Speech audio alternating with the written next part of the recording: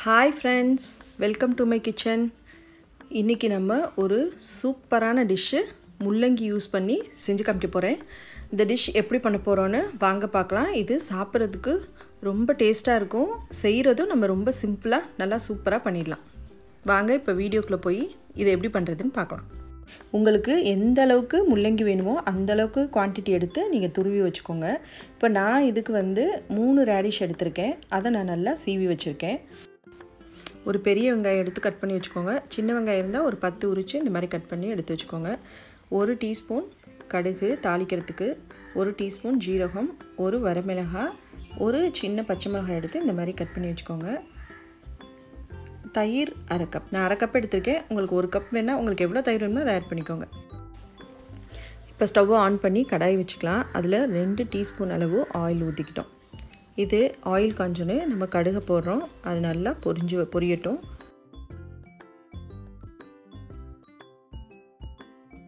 பொரிஞ்சிருச்சு. இப்போ நம்ம வரமிளகாயை ஆட் பண்ண போகிறோம்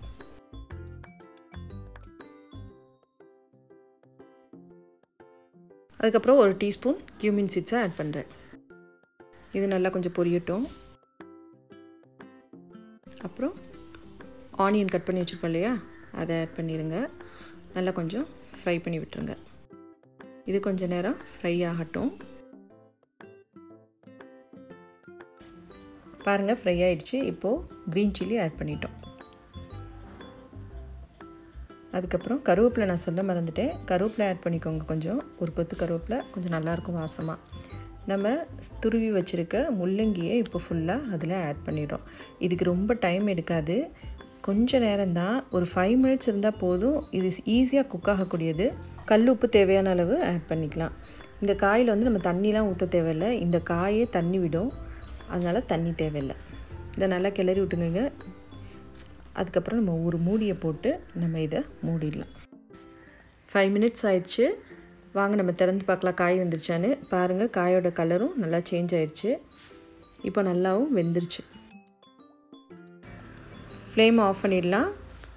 இப்போ இதை எடுத்து வச்சு ஒரு கொஞ்ச நேரம் ஆற விட்டுறலாம் கொஞ்ச நேரம் ஆறட்டும். ஆறின பிறகு இதில் நம்ம எடுத்து வச்சுருக்கக்கூடிய ஒரு அரை டம்ளர் தயிர் இருக்கு இல்லையா? அந்த தயிரை இப்போ நம்ம ஆட் பண்ண போகிறோம் இப்போ அந்த தயிரை ஆட் பண்ணிடுங்க உங்களுக்கு வேணும்னா நீங்கள் இன்னும் அதிகமாக கூட தயிர் சேர்த்துக்கலாம். அது உங்களோட இஷ்டம். ஒன் டம்ளர் தயிர் கூட சேர்த்துக்கலாம். இப்போ தயிர் ஆட் பண்ணிட்டோம் இல்லையா? இதை நல்லா எல்லாம் மிக்ஸ் பண்ணிவிடுங்க மிக்ஸ் பண்ணிவிட்டால் நம்மளோட இந்த முள்ளங்கி ரெடி டயட் ஃபாலோவர்ஸ்க்கு இது யூஸ்ஃபுல்லான ரெசிபி எப்போவும் ஒரே மாதிரி காய வச்சு சாப்பிட்டுட்ருக்கவங்களுக்கு இது ஒரு வித்தியாசமாக ஏன்னா நம்ம ரேடிஷை வச்சு அதுவும் இந்த மாதிரி பண்ணுறோம் இதில் தயிர் வேலை ஆட் பண்ணி பண்ணுறப்போ இன்னுமே நல்ல டேஸ்ட்டாக இருக்கும் ஒரு டிஃப்ரெண்ட்டாக இருக்கும். நிறைய பேர்த்துக்கு இந்த முள்ளங்கின்ற ஒரு காயை பிடிக்காது. முக்கியமாக குழந்தைங்களுக்கு சுத்தமாக பிடிக்காது. நீங்கள் இந்த மாதிரி இந்த ரெசிப்பியை செஞ்சு குழந்தைங்களுக்கு கொடுத்தீங்கன்னா அவங்க ரொம்ப விரும்பி சாப்பிடுவாங்க. அடுத்த டைம் உங்கள்கிட்ட செஞ்சு கொடுக்க சொல்லி கேட்டு வாங்கி சாப்பிடுவாங்க. ஓகே ஃப்ரெண்ட்ஸ் இந்த டிஷ் எப்படி இருக்குன்னு ட்ரை பண்ணி பாருங்கள் உங்களுக்கு பிடிச்சிருந்துச்சின்னா சப்ஸ்கிரைப் பண்ணுங்கள் கமெண்ட் பண்ணுங்கள் லைக் பண்ணுங்கள் உங்கள் ஃப்ரெண்ட்ஸ் எல்லாத்துக்கும் ஷேர் பண்ணுங்கள் ஓகே ஃப்ரெண்ட்ஸ் நம்ம வேறு ஒரு நல்ல ரெசிபியோட மீட் பண்ணலாம். Okay bye